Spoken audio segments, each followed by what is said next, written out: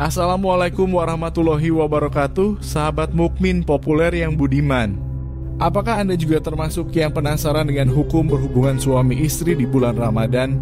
Tentu saja bulan Ramadan merupakan bulan suci yang penuh berkah dan keberkahan di mana umat muslim diwajibkan berpuasa sebagai bentuk ibadah kepada Allah Subhanahu wa taala. Namun banyak yang masih mempertanyakan kebolehan atau keharaman berhubungan intim di bulan Ramadan. Apakah benar jika kita melakukannya bisa membatalkan puasa? Ataukah ada ketentuan-ketentuan khusus yang harus dipatuhi? Mari kita simak bersama-sama dalam video kali ini.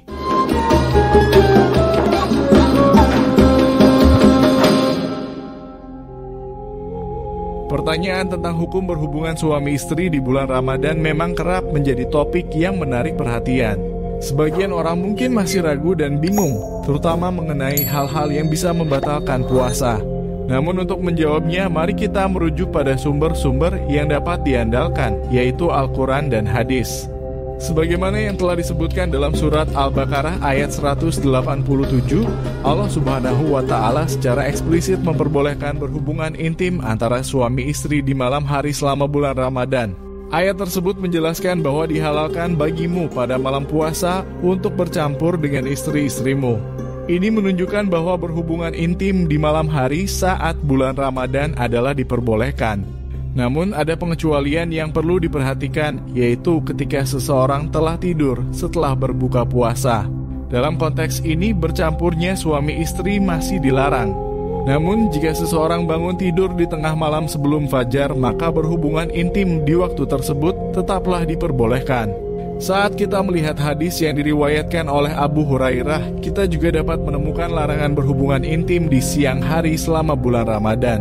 Hal ini diperkuat oleh tindakan Nabi Muhammad Wasallam yang memberikan sanksi kepada seseorang yang melanggar aturan tersebut dengan kafarat yang harus dibayar.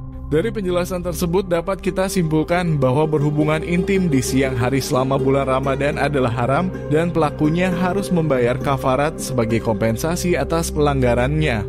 Namun sahabat muslimku penting untuk kita pahami bahwa hukum-hukum dalam agama Islam tidak hanya bersifat mengikat, tetapi juga memberikan ruang untuk pemahaman yang lebih dalam.